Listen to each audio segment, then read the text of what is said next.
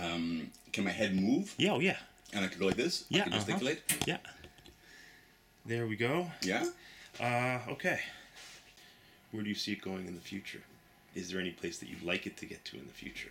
Uh, I'd like it just to be able to uh, afford us uh, a decent living, you know. Um, what I've always wanted from the space, and um, I believe Emily would agree, is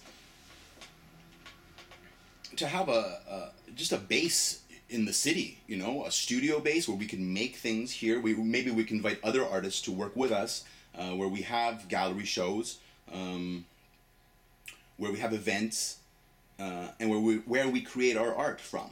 You know, um, it's kind of arrived. You know, just where we're sitting right now is uh, uh, the back back room, which uh, has never been open to anyone. I've never sat here with somebody else, so this is uh, this is a first. Very cool. I feel Um, honored. you you, you should be. We, there was like li- literally four days ago where I'm sitting was piles of crap. So we've liberated the space and uh, now must maintain this liberation.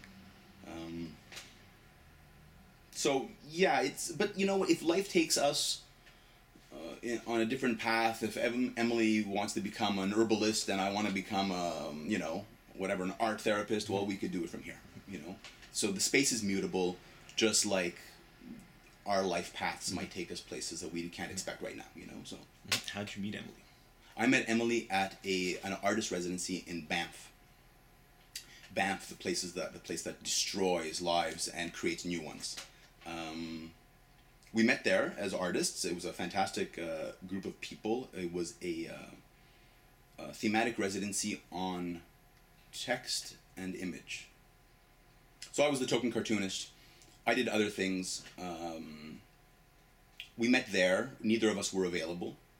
Um, we kept in contact, and I re met her a year later when I had an art show in Vancouver, where she was living at the time. Um, but it was in Banff also where I kind of was able to consolidate or amalgamate my various artistic practices and see it as one behavior instead of I, I do this and I do that and I don't know how to put it together, you know, like I collect dried avocado seeds, but I also draw pictures of bunnies and and I make collage and I do uh, photocopy manipulations and, and I do this and this and this and I always thought, you know, I was confused because of all these little fragments. I didn't know how to, to join them. And um, some visiting curators helped me out because they would go into everybody's studio and one guy said, um, this is your work is about accumulation. And and that's true because i also collect my art. Like i sell it off and i get rid of it and i give it away and whatnot but i also have boxes of scraps and i you know separate them in different categories and these are photocopies these are first generation photocopies and this is my rock posters over here and this is my visual poetry over there and these are my collages and this is my color work and this is work on cardboard and i have it all and this is my objects and stuff like this so i always collect that stuff uh, like Emily said a little while ago, though, she says, like, what are you saving all this stuff for? Like, what future historian is going to benefit from this? Um, so it is a kind of ego, an ego check. Like, what am I doing? You know, like I'm saving all this stuff as if it's gold, but being in the business of collecting other people's stuff, you realize that it doesn't always fall where you want it to fall. Why? What am I doing with photo albums of families from the 1930s? You know, isn't there some punk rock niece or granddaughter that wants this stuff? Um, and sometimes no, there isn't. So, um, my experience in the store has definitely informed my behavior as an artist, as a collector. Uh, I've got to be realistic about what I'm doing with all this stuff. Um, you can't keep photocopies of the photocopy of the photocopy and classify it. It's ridiculous. So I am in the process of organizing my own scraps and seeing if I could turn them into like a, a book or an art show or yeah, done. Now I don't have to. It's been scanned.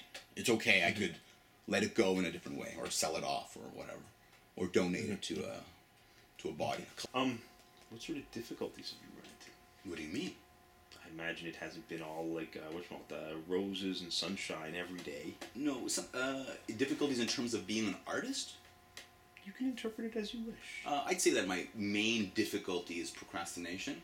um, and uh, that manifests in so many different ways. Whether it's uh, occasional bouts of poor diet or occasional bouts of no exercise at all or something like this, or leaving a project at the last minute.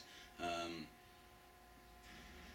so there's there's procrastination. There's also this haunting uh, remark in a grade six report card that was uh, Billy does not live up to his potential.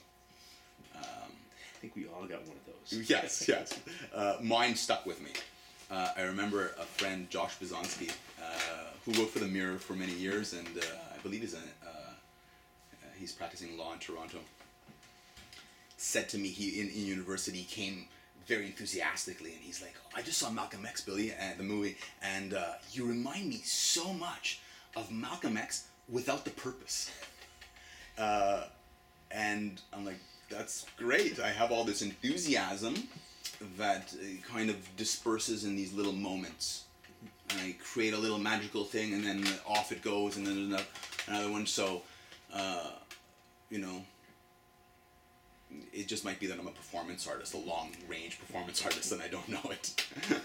or um, a character, you know? Oh, he's just one of those characters, and maybe when I'm older and I'm able to just wear the hood, the hooded cloak, and stand on the street corner with my staff, it might be and scare the teenagers. Maybe that'll that'll be the culmination of all my uh, um, my hard efforts. Uh, uh, art problems have been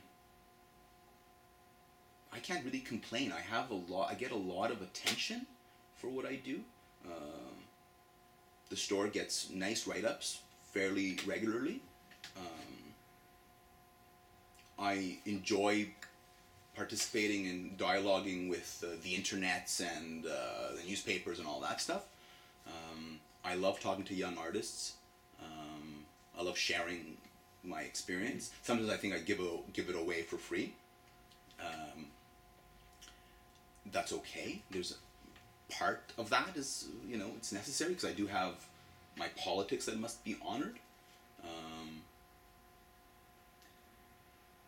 uh, like anybody else, yes, more concrete living would I'd like to make one from let's say my art, but I do have to be honest that I haven't really gone for that, you know. Um, so one can't complain that he doesn't get a government grant if one does not fill out the application form.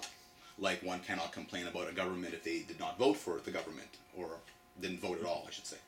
Um, so I've got to be wary of that and and real. I, I had a, a moment of you know February comes around every year and February March could be a zone of feeling bad about oneself in Montreal. Uh, so I was acutely aware that I was being uh, flooded by bitterness and jealousy and negative emotions, and you know, you know, thinking some younger artists are doing this and that or whatever, and I'm just like, wait a minute, buddy, you're, you still think that I still think that I deserve props for shit that I did 20 years ago. And it's like, well, it doesn't work that way. You've got to be active. You've got to maintain relevance. If you're not maintaining relevance, well, you know, bravo, you did a weird zine in 1993. You know, like bravo, you and everybody. You know, um, so any kind of trouble should, you know, put that camera back onto my actuality and say, okay, well, what, what am I doing now? Um, I can't be, you know, trotting out some tired old uh, graphic and, and, and sending it out to the you know same old zines and go, what's how come I'm not ta- getting to the next level? Well, you're recycling your art, like make some new stuff. So and and challenge yourself a little bit more. Stay out of you know get out of your comfort zone. All this kind of thing. So I think in terms of art, I've been able to in the last few years kind of start exercising a little bit and going, okay, try this out, do this. Um, don't rest on any perceived laurels because that's all they are is perceived. You know, uh, it's not like you know I got a government uh, or a governor general's uh, lifetime achievement award. You know, when I was twenty, and I'm like, we want people to remember this. It's like, no, buddy. You know, keep going. Um,